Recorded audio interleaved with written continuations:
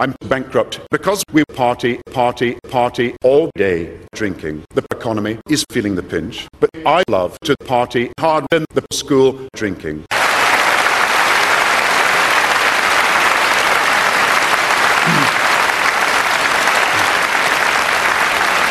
My morals teach that politicians are powerless. So drinking is relentless.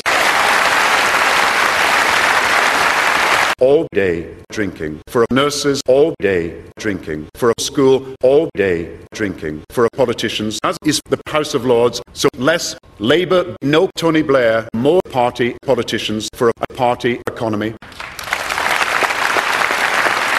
Drinking.